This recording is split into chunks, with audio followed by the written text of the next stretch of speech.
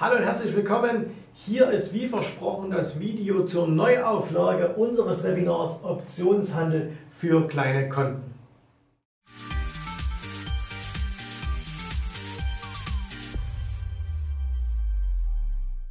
Wir haben ja bereits im Frühjahr 2015 das Webinar Optionshandel für kleine Konten durchgeführt. Das war damals ein riesiger Erfolg. Wir hatten ursprünglich mit 100 Teilnehmern gerechnet, am Ende waren es fast 300 und äh, jetzt äh, ein paar Monate später bekommen wir immer noch viele, viele Anfragen, ob wir dieses Webinar einmal wiederholen können und jetzt ist es soweit.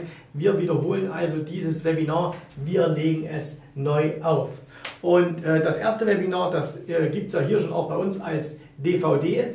Und jetzt haben wir uns natürlich gesagt, okay, wir machen natürlich nicht einfach nur eine plumpe Wiederholung. Das heißt, einfach die Inhalte, die wir vor sechs Monaten schon mal hatten, einfach nochmal äh, wiederholt. Nein, wir haben das Ganze natürlich ein wenig ergänzt. Wir haben das verbessert. Wir haben die Anregungen, die wir bekommen haben, die haben wir natürlich mit eingebaut, haben ein paar Dinge neu dazu äh, genommen in diesem Webinar und die äh, will ich jetzt in diesem Video kurz erläutern.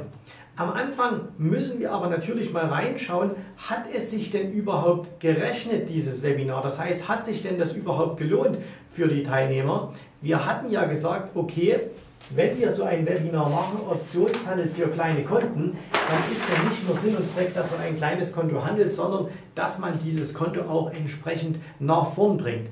Und ähm, wir haben gesagt, für wen eignet sich dieses, äh, dieses Seminar und äh, wer also mit Optionen handeln will und hier dieses äh, Seminar äh, oder da teilnehmen will, der sollte also ein Konto haben von etwa 5000 Euro und man kann das auch sicherlich auch noch bis 25.000 Euro handeln, also, äh, also Ihren Car reinmachen, 25.000. Natürlich haben wir auch äh, Teilnehmer gehabt, die haben das mit 100 oder 200.000 Euro gehandelt. Aber in diesem Webinar geht es eben hauptsächlich darum, wenn ihr ein kleines Konto habt, wenn ihr also wirklich sagt, Mensch, ich habe nur ein 5000er Konto oder nur ein 10.000er Konto, da ist ja Optionshandel immer ein bisschen schwierig und äh, deswegen haben wir spezielle Strategien herausgesucht, die mit diesen kleinen Konten anwendbar sind und damit man natürlich dieses kleine Konto auch ein wenig nach vorn bringt. Denn unser Ziel ist es, dass wir sagen, wir wollen so ein kleines Konto zwischen 2 und 5 Prozent pro Monat nach vorn bringen. Und nun sind das ja hehre Worte, dass man sagt, okay, 2 bis 5 Prozent, ne, wenn man das mal aufs Jahr hochrechnet, ist das ja eine ganze Menge. Und äh, die Frage ist ja immer, können wir denn überhaupt das halten, was wir versprechen?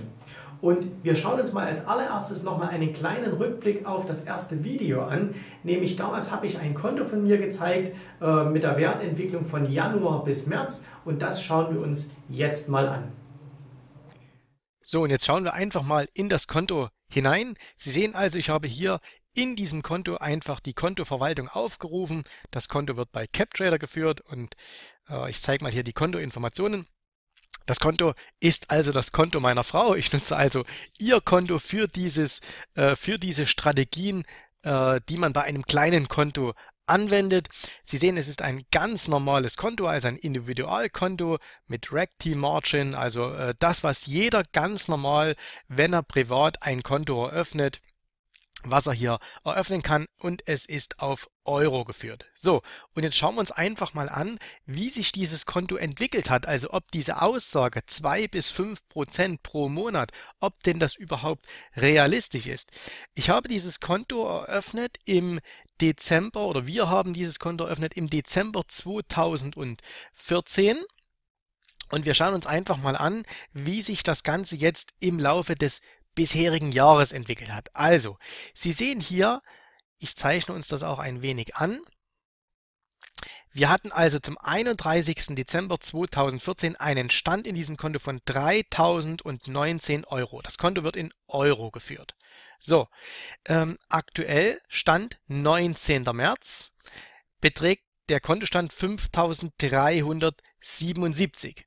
Sie können hier auf der Seite allerdings auch sehen, dass ich mittlerweile in dieses Konto äh, weitere von den Anfangsstand von 3019 nochmal 1950 Euro eingezahlt habe. Das Thema Einzahlungen, gerade bei kleineren Konten, ist enorm wichtig und wird ja auch mit behandelt. So, was ist aber reell wirklich an Rendite rausgekommen? Und das kann man hier erkennen, nämlich in der sogenannten Market-to-Market-Bewertung. Und das sind 482 äh, Euro, die also an Gewinn dazugekommen sind. Dann sehen wir hier unten, da gehen natürlich noch ein bisschen Gebühren ab und Commissions und so weiter. Und am Ende ergibt das allerdings hier eine zeitgewichtete Rendite. Da wird also nicht die Einzahlung mitgewertet, sondern wirklich nur das, was war da und was ist tatsächlich dann äh, entstanden. Die Einzahlung erfolgt auch nicht mit einmal, sondern verteilt. Und ähm, da sehen wir, es ist hier eine Rendite von knapp 12 Prozent in reichlich drei Monaten entstanden. Also der Januar, der Februar und der März ist noch nicht ganz vorbei und deswegen ist also diese Aussage 2 bis 5 Prozent pro Monat. Die ist also absolut realistisch. Ähm, warum wird es der ein oder andere sagen, zeigt er uns jetzt hier nicht ein Konto mit 10 Jahren? Äh, ganz einfach, weil sie natürlich ein kleines Konto, wenn sie das mit 2 bis 5 Prozent jeden Monat äh, anwachsen lassen und wenn Sie zusätzlich noch Geld jeden Monat einzahlen oder quartalsweise, dann ist es kein kleines Konto mehr und dann können Sie einige dieser Strategien, die wir hier im Webinar besprechen werden, nicht mehr anwenden. Aber solange das Konto beispielsweise jetzt unter 20.000 Euro ist, wird man solche Strategien anwenden können. Und dieses Konto hier, das werden wir auch während des Webinars nutzen. Das heißt, alle Trades, alle Strategien, die wir besprechen, werde ich live mit Ihnen in diesem Konto handeln und äh, wir können also dann sehr schön auch schauen, wie hat sich das Ganze entwickelt. Wie gesagt, das hier ist die Zielgröße, 2 bis 5 Prozent pro Monat und äh, wir sind ja mit äh, insgesamt elf Wochen, fast drei Monate dabei. Das heißt also, da sollte dann irgendwas zwischen äh, 6 bis knapp 15 Prozent Rendite auf diesem Konto zusätzlich zu den schon erreichten entstehen. So, das war der Blick ins Konto. Wieder zurück zu mir als Bild. So, wir hatten also damals eine Wertentwicklung von ca. 11% in diesen, ja, das waren damals knapp drei Monate. Und jetzt ist natürlich die Frage, wie hat sich denn das Ganze weiterentwickelt? Und äh, deswegen machen wir ganz einfach eins, wir schauen jetzt nochmal in dieses Konto hinein. Also genau das gleiche Konto. Wie hat es sich denn jetzt vom 1. Januar bis heute, heute ist der 21. September 2015, wie hat sich das eben weiterentwickelt? So, und jetzt sind wir also hier im aktuellen Konto drin. Man sieht hier oben rechts der 21. September 2015. Das heißt, das ist also ähm, wirklich ganz, ganz aktuell aufgenommen. Man kann auch hier die Kontonummern vergleichen. Das ist also nach wie vor das gleiche Konto. Es ist immer noch ein Individualkonto mit Rack Team Margin, äh, läuft immer noch auf meine Frau, also alles noch ganz normal. Und äh, jetzt schauen wir uns einfach mal an. Wir hatten ja knapp über 11 Prozent äh, im März und jetzt schauen wir uns mal an, was ist im bis September jetzt aus diesem Konto geworden. Und ich äh, kennzeichne uns wieder die Punkte, die interessant sind. Also hier vom 31. Dezember bis zum 21. September. Wir sehen, ähm, das war das Startkapital 3019 Euro. Ich habe dann jetzt in der Zwischenzeit äh, 3750 Euro eingezahlt. Ich habe am Anfang mal eine Summe gezahlt und dann jetzt regelmäßig Monat für Monat 150 Euro. Und ähm, dann sehen wir jetzt auch hier, was an Gewinn rausgekommen ist, nämlich 1846 Euro.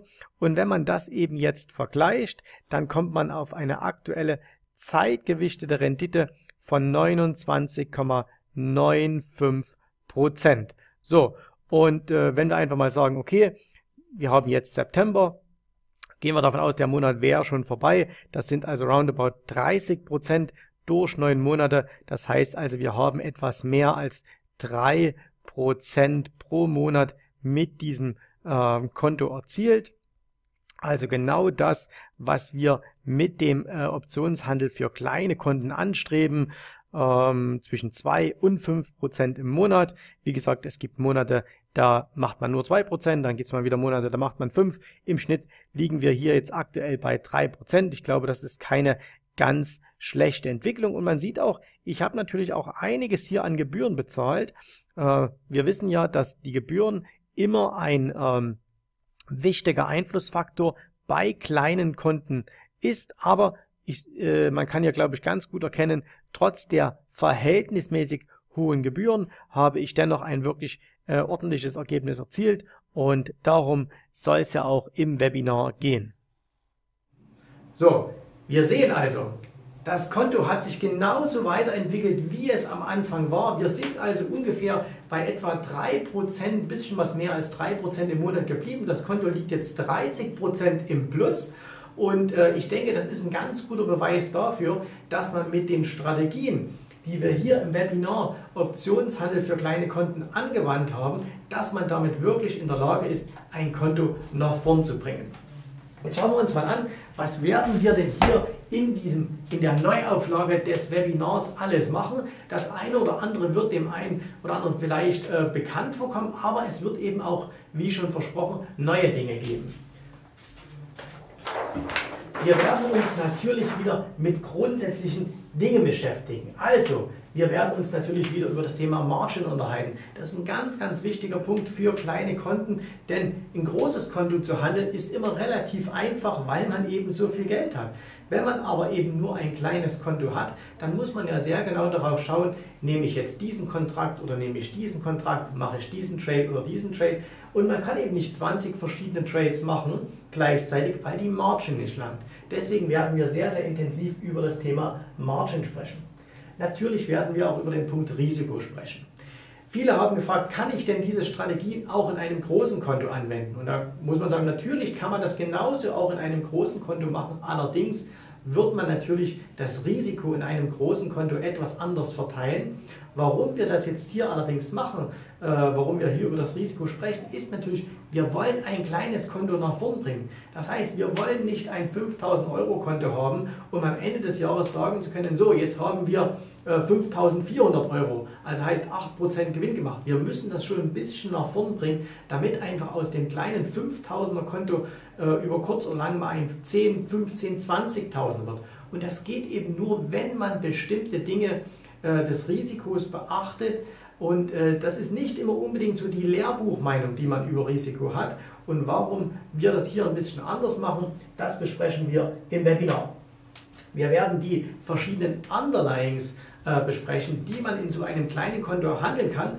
Und da steht jetzt hier schon neu und äh, ich werde gleich darauf kommen. Wir werden ein neues zusätzliches Underlying mit hineinnehmen, wo wir einfach in den letzten Wochen und Monaten gemerkt haben, dass sich das gerade in Verbindung mit unserem äh, Partner hier sehr, sehr gut eignet, um da etwas mehr zu machen, um dann noch in der einen oder anderen Situation ein paar zusätzliche Euros mit fürs Konto rauszuholen. Strategien gehe ich gleich nochmal darauf ein. Alles wie gehabt, aber auch hier werden wir noch eine weitere zusätzliche neue Strategie mit ins Boot nehmen. Ähm, die ist so ein bisschen entstanden aus den Anregungen unserer Kunden, ähm, der Teilnehmer des ersten Webinars. Und äh, es ist eine Strategie, die äh, mit, mit einer anderen, die wir handeln, zwar mit den Earnings enorm äh, verwandt ist, die aber, in, äh, wenn man sie nutzt, auch nochmal sehr, sehr gute Resultate bringen kann, die jetzt nicht Tag für Tag gehandelt werden kann, aber wenn das auftritt, dann kann man die entsprechend gut nutzen. So, und wir werden natürlich auch darüber sprechen, wie bringt man denn überhaupt ein kleines Konto zum Wachstum, weil eins ist Fakt, niemand, der ein kleines Konto nicht nach oben handeln kann, kann ein großes Konto handeln. Aber ein großes Konto handelt man anders wie ein kleines und wir werden eben hier speziell auf das kleine Konto eingehen. Was kann man denn alles noch außer dem Trading machen, äh, um das Konto ein bisschen voranzubringen? Weil wie gesagt, das Ziel muss es sein, dass man eben aus dem 5000er Konto irgendwann mal vielleicht ein 25.000er macht, weil dann wird es viel, viel einfacher beim Handeln. So, jetzt schauen wir uns mal an, was werden wir für Instrumente handeln. Aus dem ersten Video, aus dem ersten Lehrgang kennt man das noch. Wir werden natürlich Optionen handeln. Und zwar, wir werden ETFs handeln oder die Optionen auf ETFs. Wir werden Aktienoptionen handeln und wir werden sogar Future-Optionen handeln, wenn es sich denn anbietet. Aber was ist denn jetzt hier das Neue? Und das, was wir jetzt hier machen, das wird vielleicht den einen oder anderen äh, überraschen, denn wir werden auch CFDs mithandeln. Jetzt wird der eine oder andere sagen, Gottes Willen, CFDs, das sind doch diese Abzockinstrumente. Und äh, das stimmt bei vielen Brokern auch, aber wir haben mittlerweile eine Möglichkeit gefunden, wo man CFDs sehr, sehr vernünftig einsetzen kann. Und gerade wenn man ein kleines Konto hat, das hat was mit dem Thema Margin auch zu tun, da können CFDs sehr, sehr hilfreich sein. Jetzt nicht als permanentes Handelsinstrument, aber es gibt bestimmte Situationen, auf die werden wir eingehen und äh, wo man mit Hilfe dieser CFDs doch noch den ein oder anderen extra Euro mitmachen kann. Und wenn man weiß, wie das Ganze funktioniert und wann man es einsetzt, dann kann das durchaus ein sehr, sehr nützliches, hilfreiches Instrument sein. Äh, vor allen Dingen dann, wenn einfach das Konto zu klein ist, um beispielsweise direkt mit Aktien zu handeln, dann kann sich das hier mit diesen CFDs sehr, sehr gut lohnen. Wir blättern nochmal um auf die nächste Seite. Es wird natürlich auch wieder um einige Schlüsselkonzepte gehen. Das heißt, mir ist es ja immer ganz wichtig, dass äh, unsere Kunden verstehen, was sie denn da machen. Also nicht nur so dieses herkömmliche, wenn das passiert, macht ihr das, wenn das passiert, macht ihr das, sondern wir wollen eine Strategie haben oder wir wollen Strategien haben, die nachvollziehbar sind, mit denen man weiß, warum gewinne ich und warum verliere ich aber auch in manchen Situationen. Und deswegen wird es bestimmte Schlüsselkonzepte geben, die wir hier ganz einfach nochmal äh, im Detail behandeln. Also, das sind so Dinge wie Volatilität, die IVR. Ich glaube, IVR, seitdem wir das vor einem halben Jahr hier angeschoben haben, äh, kann man in vielen Internetforen, die sich mit Optionen beschäftigen, über äh, das Thema IVR etwas lesen. Für viele ist das wirklich zum Standard geworden und äh, deswegen für alle, die es nicht kennen, werden wir das hier an der Stelle nochmal erläutern. Wir werden über die sogenannten POP-Werte sprechen den sogenannten äh, Probability of Profit, also die Wahrscheinlichkeit eines äh, Gewinns, aber wir werden auch über sowas sprechen wie äh, äh, Probability of Touch, also die Wahrscheinlichkeit, dass ein Strike berührt wird und was man da machen muss. Weil gerade bei Aktienoptionen ist das eine ganz, ganz wichtige Sache, dass man versteht, warum manchmal ein Trade nach hinten laufen kann und wie man ihn dann richtig repariert das Reparieren wird ein großer Bestandteil sein. Wir mussten in dem ersten Webinar gar nicht so viel reparieren. Äh, deswegen haben wir da auch hier ein paar extra Sachen noch gemacht, damit man das einfach noch besser und noch mehr zeigen kann. So, und dann geht es natürlich noch um so Dinge wie Standardabweichung, also Standard Deviation, Return on Capital, Return on Margin, also diese ganz klassischen Sachen, die man einfach braucht im Optionshandel. Es geht um das Thema Liquidität. Gerade jetzt, wir hatten im August äh, ja diesen großen Einbruch an den Märkten, diesen, der war jetzt in absoluten Zahlen betrachtet nicht so groß oder prozentualen Zahlen, aber der war sehr heftig. Die Liquidität in vielen Märkten war nicht gegeben. Was kann man da machen an so einem Tag? Was kann man machen, wenn die Spreads sehr, sehr weit sind? All das werden wir hier unter dem Punkt mit behandeln. So, jetzt schauen wir uns an, was werden wir hier für Strategien behandeln. Und da wird es insgesamt, werden wir uns auf vier Dinge hauptsächlich konzentrieren. Zum einen, und das wird der Schwerpunkt sein, werden wir natürlich Short Puts und Short Calls behandeln. Wir haben hier nochmal eine Verfeinerung vorgenommen, wo man ganz genau und ohne Interpretation herausfinden kann, wann verkaufe ich Puts, wann verkaufe ich Calls, in welchen Aktien verkaufe ich Puts, in welchen verkaufe ich Calls. Wir werden da äh, Checklisten dazu machen, sodass man wirklich keine falschen Entscheidungen mehr treffen kann. Also dass man dann nicht sagen kann, Mensch, ich habe hier einen Put verkauft und jetzt rauscht mir äh, der Gesamtmarkt nach unten weg, äh, sondern das werden wir mit Hilfe von Checklisten auszuschließen wissen. So, wir werden auch Strangles machen. Strangles, nach wie vor einer meiner Lieblingsstrategien, warum man kann auf beiden Seiten was verdienen und man hat wenig Margin-Einsatz. Auch das werden wir hier wieder im Webinar besprechen mit Beispielen, mit Live-Beispielen, mit Beispielen aus den letzten Monaten, sodass man da wirklich ein gutes Bild davon bekommt. Jetzt geht gerade auch wieder die Earnings-Saison los, deswegen werden wir auch wieder Earnings besprechen. Und zu den Earnings hatten wir im ersten Webinar die meisten Rückfragen. Wir hatten sehr, sehr viele Teilnehmer, die ähm, ganz hervorragende Ergebnisse erzielt haben, also die teilweise noch äh, 4, 5 Prozent manchmal in einer Woche gewonnen haben. Wir wissen, das ist jetzt nicht, lässt sich nicht forttreiben, aber äh, das sind natürlich tolle Ergebnisse. Aber wir hatten auch viele Fragen, was ist denn, wenn dann doch mal so eine Aktie ein bisschen mehr springt als ursprünglich erwartet? Und daraus äh, heraus haben wir eine neue Strategie, es ist keine neue Strategie, sondern eine bekannte Strategie, aber äh, extra für die kleinen Konten hier nochmal mit dazu genommen, wo man nämlich genau, wenn so etwas passiert, also wenn Aktien mehr springen, als das zu vermuten wäre, wo man dann ansetzen kann, sagen kann, okay, jetzt kann ich äh, hier besondere Trades machen. Ich glaube, das wird eine sehr, sehr spannende Sache werden und da wird für viele nochmal, äh, die werden dann, kann ich mir vorstellen, sagen, von der klassischen Earnings-Strategie auf diese neue Earnings-Strategie wechseln, weil sie sagen, aha, da habe ich nicht ganz so viele Trades, aber die Trefferwahrscheinlichkeit ist viel, viel höher und vor allem man kann viel ruhiger schlafen dann damit. So, und dann werden wir natürlich auf Sondersituationen eingehen. Wir haben ja momentan wirklich sehr tolle aktuelle Sondersituationen, die wir noch besprechen können. Also im August dieser große Einbruch im S&P, im DAX und überall äh, innerhalb von zwei, drei Tagen. Wie kann man das nutzen? Kann man das mit einem kleinen Konto nutzen? Was macht man in so einer Situation, wenn wie gestern die VW-Aktie 25% fällt? Wie kann ich das nutzen? Es geht ja nicht so sehr darum, das im Vorfeld zu erkennen, aber wenn dann etwas passiert, wie nutze ich so etwas? Und genau das werden wir beim Thema Sondersituationen mit besprechen. Okay, wir arbeiten so langsam nach hinten. Nochmal ein neuer Punkt.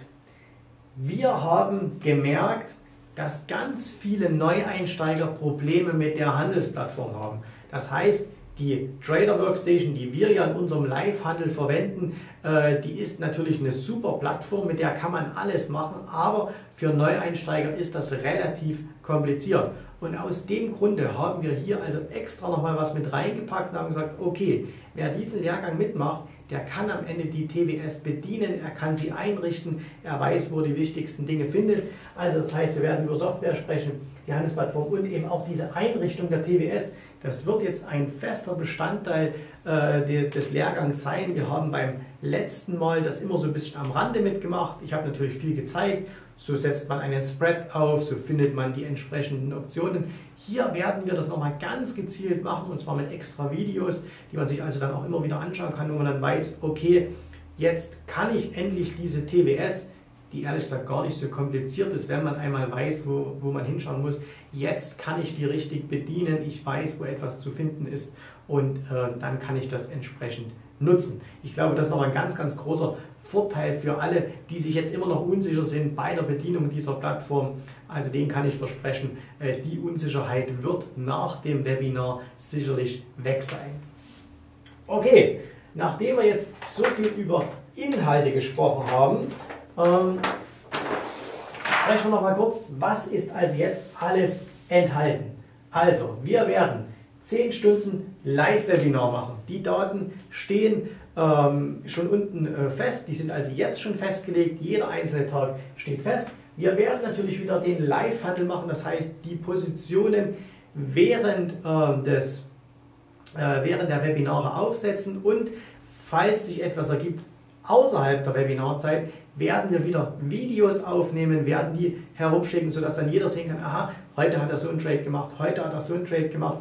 Diese Live-Webinare werden natürlich wieder aufgezeichnet und sie werden am gleichen Tag online gestellt. Das heißt, wir werden diese Seminare oder diese Webinare werden immer 17 Uhr stattfinden und äh, die werden immer noch am gleichen Tag online sein, also spätestens so 19 Uhr werden die online sein, sodass auch derjenige, der mal einen Termin verpasst, das Ganze sich abends live anschauen kann. So, es gibt wieder 10 Videos dazu und zwar nicht die, die schon beim ersten Mal waren, sondern wir werden neue Videos machen äh, die werden ergänzt werden äh, mit neuen Inhalten, die werden neu aufgenommen und ähm, so dass man die entsprechend hat. Es wird zehn PDFs dazu geben, also zu jedem Live-Webinar wird es auch ein PDF geben oder etwas, eine ergänzende PDF, also mit allen Strategien, mit all den Dingen, die wir besprechen. Da nehmen wir auch nicht einfach nur die alten, sondern wir haben diese PDFs nochmal überarbeitet, wir haben sie ergänzt, wir haben neue Dinge eingefügt, äh, Dinge, die nicht so ganz klar waren, haben wir, äh, haben wir äh, detaillierter beschrieben, sodass jetzt wirklich die äh, Dinge, wo man sagt, ah, das, wie ist das jetzt genau gemeint, dass die jetzt ganz, ganz klar beschrieben sind. Und wir werden es wieder so machen, dass man also vor jedem Live-Webinar etwas zugeschickt bekommt. Das heißt, man kann sich darauf vorbereiten. Das startet immer eine Woche äh, vorher Also das heißt, wir werden immer am Freitag, wenn also am Dienstag das Webinar ist, werden wir immer am Freitag zuvor äh, die Unterlagen per Mail verschicken bzw. auf unserer Webseite zur Verfügung stellen, damit einfach jeder übers Wochenende schon mal ein bisschen reinschauen kann und sich auf das kommende Webinar vorbereiten kann. Es wird natürlich hier wieder ein Fragen-Antwort-Webinar geben zum Schluss, wo man alle seine Fragen, die man hat, loswerden kann. Viele Fragen werden wir wieder mit extra Videos beantworten, weil das sonst einfach den Rahmen sprengt. Und, und das ist jetzt was Besonderes, wir werden natürlich alle äh, diese Dinge wieder auf eine DVD brennen und äh, jeder, der an diesem Webinar teilnimmt, der wird diese DVD bekommen, aber der wird zusätzlich auch noch die erste mitbekommen. Das heißt also, es wird für jeden am Ende, wer ganz neu dabei ist, für den wird es also hier diese DVD Nummer 1 geben und äh, zusätzlich mit dazu und die DVD Nummer 2. Wer Wiederholer ist, da komme ich gleich noch drauf, der wird zusätzlich natürlich diese zweite DVD bekommen. Das heißt, Sie bekommen hier eigentlich zwei Webinare zum Preis von einem. So, was kostet das Ganze jetzt? Wir leben ja in Zeiten, wo es keine Inflation gibt und deswegen gibt es auch keinen höheren Preis. Hier nochmal der Startdatum 20. Oktober 2015, 17 Uhr, das ist ein Dienstag. Also, was kostet dieses Webinar? Diese komplette Webinarreihe mit all den Dingen, die wir jetzt besprochen haben, kostet für Neukunden, das heißt diejenigen, die noch nicht an diesem Webinar teilgenommen haben, 450 Euro. Für alle Wiederholer oder alle, die im Nachgang einfach nur die DVD gekauft haben. Es gibt ja auch viele, die diese DVD gekauft haben. Wenn Sie jetzt sagen, okay, ich möchte einfach nochmal an diesem Webinar teilnehmen, ich möchte es nochmal live mitmachen, die können als Wiederholer für 100 Euro an dem Webinar teilnehmen, weil wir wollen natürlich auch, dass äh, diejenigen, die schon mal daran teilgenommen haben, an diesen neuen Dingen teilhaben können. Wir haben auch schon wahnsinnig viele Anmeldungen jetzt von ehemaligen Teilnehmern bekommen. Das spricht natürlich auch dafür, dass es wohl ziemlich gut gewesen sein muss, das erste Webinar. Preise sind immer inklusive Mehrwertsteuer. Das heißt also auch für unsere Kunden in Österreich, in der Schweiz oder wo auch immer äh, ihr herkommt, äh, Teilnehmer aus Holland gehabt, aus Belgien, aus Neuseeland. Äh, für alle gilt der gleiche Preis, 450 Euro bzw. 100 Euro inklusive Mehrwertsteuer. So, und zum Schluss, wir haben natürlich wieder mit unserem Partner äh, CapTrader einen Deal gemacht und haben gesagt, okay, komm, kannst du das Ganze wieder ein wenig mit sponsoren und äh, das Ganze sieht also folgendermaßen aus. Für jeden, der ein neues Konto bei CapTrader öffnet oder ein bestehendes Konto nochmal mit mindestens 5000 Euro auffüllt, äh, der erhält von CapTrader direkt auf sein Konto 150 Euro dazu. Das heißt also, Sie melden sich bei uns an, Sie bezahlen hier ganz normal Ihre Rechnung, eröffnen das Konto bei CapTrader und CapTrader bucht Ihnen automatisch diese 150 Euro drauf. Wenn Sie schon Kunde bei CapTrader sind oder wenn Sie ein Konto aufmachen und zahlen mindestens 25.000 Euro äh, auf dieses neue Konto oder auf ein bestehendes Konto mindestens nochmal 25.000 Euro drauf, erhalten Sie von CapTrader diese 250 Euro. Also wie gesagt, das äh, geht nicht hier vom Preis abgezogen, sondern das bekommen Sie von CapTrader direkt auf Ihr Handelskonto. Das heißt also, wer ein 5000er Konto eröffnet, kriegt diese 150 Euro, hat schon mal 3% Gewinn gemacht. Okay, das war's mit der Vorstellung für dieses Webinar. Ich bin mir sicher, dass wir uns bald sehen werden, nämlich hier am 20. Oktober 2015. Wir haben viele Kapazitäten, also das heißt, wir haben extra das Ganze äh, eine, eine, große ähm, Software gekauft, die eine große Lizenz, damit man auch wirklich alle Kunden teilnehmen können. Das heißt, jeder kann sich anmelden. Wir machen also jetzt nicht eine künstliche Verknappung und sagen, es sind nur 100 Plätze frei. Nein, äh, wir haben, glaube ich, sowieso schon wieder knapp 100 Anmeldungen. Also deswegen, äh, es ist für jeden Platz, jeder, der teilnehmen will, kann teilnehmen. Wer noch Fragen hat, schickt die einfach an info.adoptionsstrategien.com. Ansonsten über den Link, der hier im Video unten mit ist, beziehungsweise in den E-Mails, die Sie von uns enthalten, äh, mit, ähm, mit dabei ist, können Sie sich für dieses Webinar anmelden. Dann geht das ganz normal, Sie bekommen eine Rechnung bezahlt und dann geht es hier am 20. Oktober, also in circa vier Wochen, geht es los. Ich würde mich sehr freuen, ähm, wenn ihr, wenn Sie dabei sind bei diesem Webinar. Ich glaube, das wird nochmal eine ganz, ganz tolle Sache für uns alle, sodass wir zum Ende des Jahres nochmal eine schöne Jahresendrallye in unseren Konten hinlegen können. Denn es ist vollkommen egal, wie sich die Märkte entwickeln. Man hat das, glaube ich, an meinem eigenen Konto gesehen. Wir hatten am Anfang des Jahres eine sehr schöne Entwicklung nach oben. Jetzt hatten wir eine sehr schöne Entwicklung nach unten. Aber wir hatten insgesamt eine positive Entwicklung in unserem Konto. Und darauf kommt es an, dass man einfach in jeder Börsensituation Geld verdienen kann. Das war's. Wir sehen uns am 20. Oktober oder hier auf diesem Kanal. Bis demnächst. Danke, tschüss, bye bye.